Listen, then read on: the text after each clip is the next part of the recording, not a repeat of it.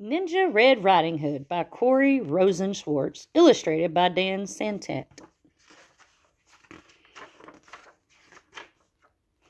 Once upon a ninja filled time, a wolf couldn't catch any prey. He kept getting licked by the dinner he picked and was growing more ticked by the day. His belly was aching for bacon. I'm wasting away, he complained. To huff and to puff was no longer enough, so he snuck into school to be trained. He practiced his katas for hours and mastered the whirlwind and wheel. He jackknifed and flipped and at last felt equipped to once again catch a good meal. Drooling with anticipation, he set off in search of some meat. While deep in the wood, he met Riding Hood. I'm bringing my grandma a treat, the wolf licked his chops when he saw her and hastily thought up a plan. There are blossoms that way. You can pick a bouquet to give your little old gran. Then the wolf took a shortcut to Grandma's, where he thought that he'd find her in bed. But Granny was gone, so he put her robe on and eagerly waited for Red. Soon after he heard someone knocking, he called out, My dear, come on in. Oh, don't you look good in your lovely red hood, but a shame that you've gotten so thin. Little Red took a look at her granny and said, What on earth did you do? I could swear that your eyes have completely changed size. Hey, Gran, are you sure that's it's you?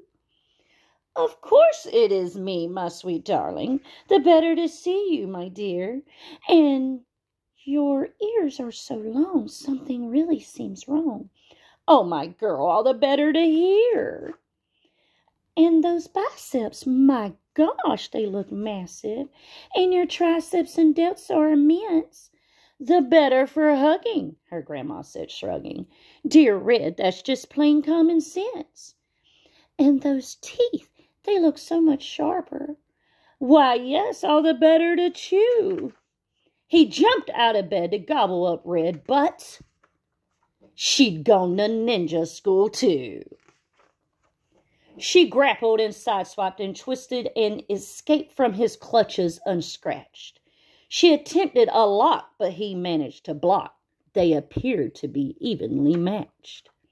Just then they both heard someone chopping. A woodsman, Red thought, but instead it was Gran and her gi. She just came from Tai Chi.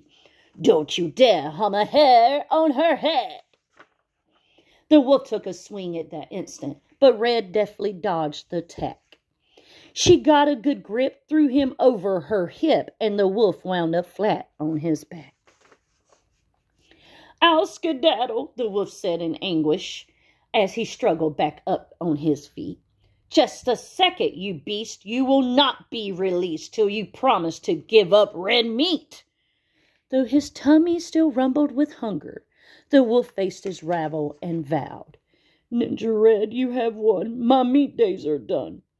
Oh, Red Chan, said Gran, I'm so proud. Then Red and the wolf bowed politely, and Gran gave him half her peach pie. The wolf was a mess. He'd had way too much stress. I guess I'll give yoga a try.